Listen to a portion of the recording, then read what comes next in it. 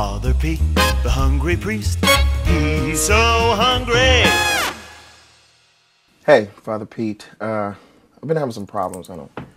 My girlfriend's really been pressuring me to get married, but uh, I don't. I don't think I'm ready. Do you have any advice at all?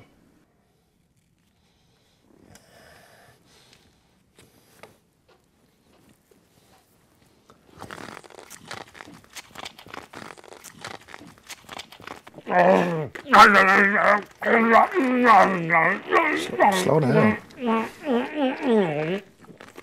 Father Pete, the hungry priest, he's so hungry.